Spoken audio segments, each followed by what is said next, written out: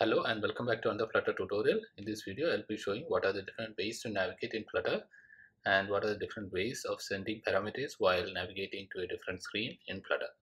Let's start. So the first thing I'm going to do is I'm going to create a new screen. I'm going to call it first screen. So implement the material dot dart and the first screen extends a stateless widget we don't need a state for this demo okay? So a scaffold widget with an app bar and a title. Let me say for screen then a body with a column widget and children. I'm gonna add a text field with some decoration input decoration with the padding. Uh, let's say 15 and a hint text. Enter title. Okay. Now to control the text field we need a text editing controller. So I'm going to say controller title is equal to new text editing controller. And supply that controller to the controller property of the text field. Alright so I'm going to create another text field give it another text editing controller controller message. Okay and change the hint text to enter message. Okay. Now I'm going to open the main.dart file where our parent widget resides. Okay. So let me go to the main.dart file. So this is the main.dart file where you can supply the home property. So let me delete the commented code which I used in the other tutorials. Okay. So so let me import the first screen here. Okay. And I am supplying first screen as home. Okay. So when I run the app I can see. So that's our first screen. All right. Now let's create another screen. So create a new file. I'm gonna name it second screen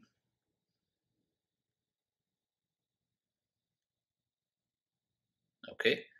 And I'm going to the first screen dot dart file and copy everything and I'm going to paste it in second screen dot dart and rename the class to second screen. And uh, we need only one text field here. So I'm going to delete that and change the title to second screen now let's go back to our main.dart file and change the home to second screen. So let me import that and change the home to second screen. So the initial screen would be second screen. Okay, so you can see that. All right. So let me undo that. All right. Now I'm going back to the first screen and add a spacing. So a size box with a height of 20 and a button. So outline button with child a text. So the text would be launch second screen. Okay and one press of the button. We're going to call a function. So let me write a function. Button tap 1 that's going to take a build context okay? And we're going to open the second screen from here okay? So let's call navigator dot push with the context and second one is the route. So we need to supply a material page route here. So material page route okay let's check the properties. So the first property is the builder. That takes a function with a context parameter and it should return the screen which we want to navigate to. So let me import the second screen here and call the constructor. Okay.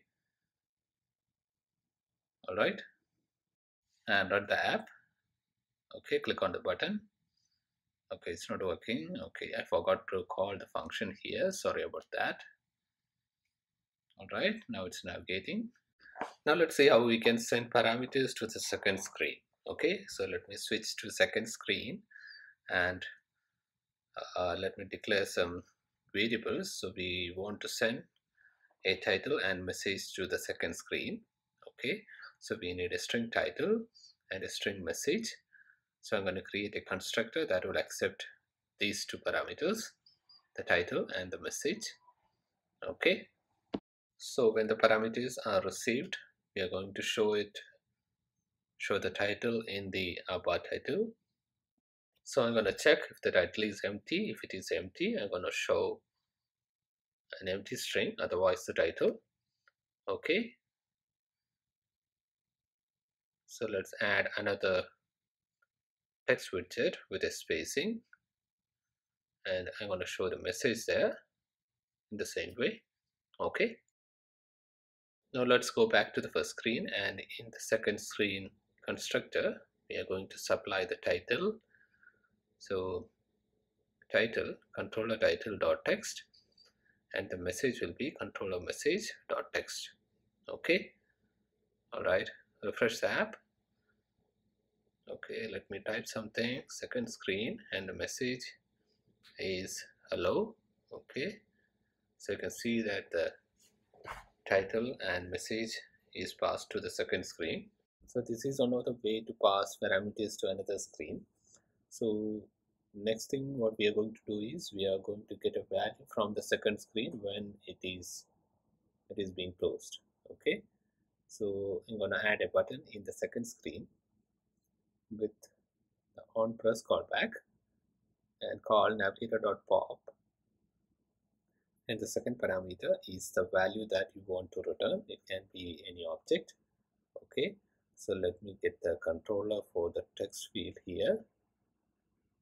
So controller message back dot text. So whatever you type in the text field will be sent back to where it is called. Okay so it is being called by the first screen right? So make the button tap an asynchronous function and wait for the result from navigator.push okay so called await there. So we will get the result here. So once we get that we're going to show it in a snack bar.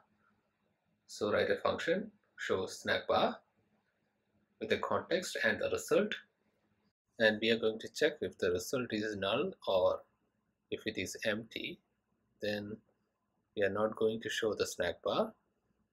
So we're going to return from there. Otherwise we're going to create a snack bar. So remove the old one and call show snack bar and a new snack bar with the content text result. Okay? All right. Now let's call the function show snack bar with context and result. Okay? Run the app. Okay? So done. Okay there is some issue here so the issue is because of the context. So we are sending the wrong context here.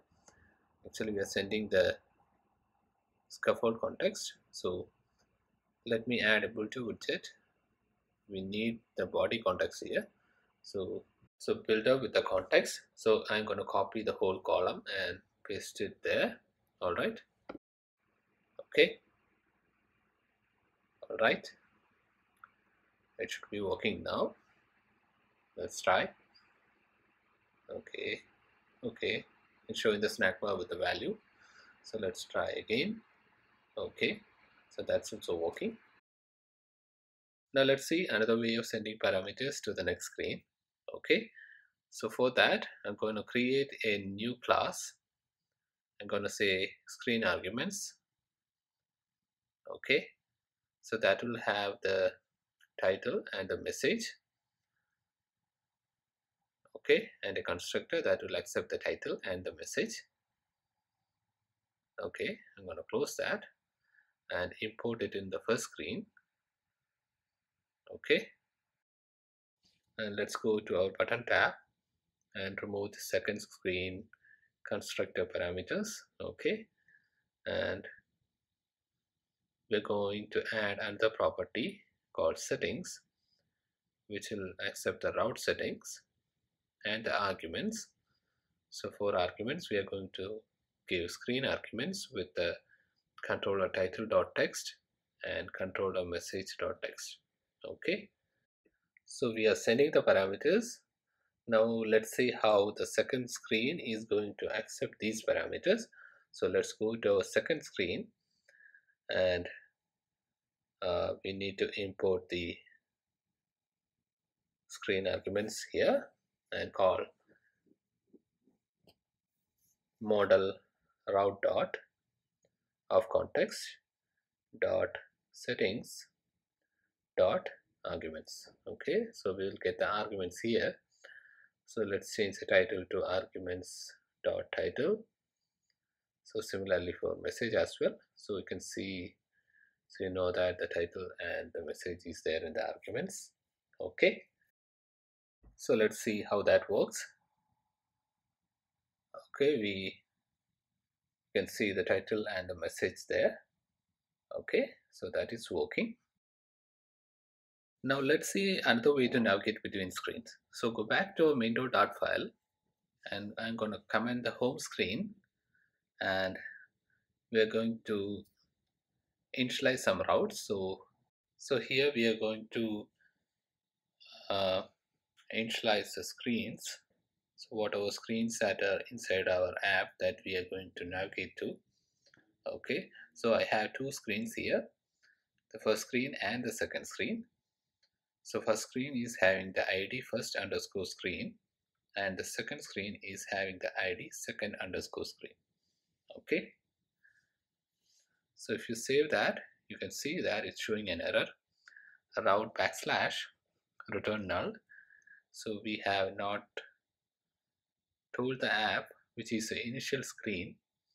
So let me set the initial route to let's say first underscore screen. Okay. So now the error should be gone and it will load the first screen. So as it says you can have the first screen as backslash. So if you reload the app we can see that it still loads and we can see the second screen as backslash second underscore screen. So that's a web way of doing. So we are not going to do like that. Let's go to the first screen and declare a static string route id so this is going to be the route id for the first screen. And we are going to do the same thing in the second screen okay so the route ID will be second underscore screen.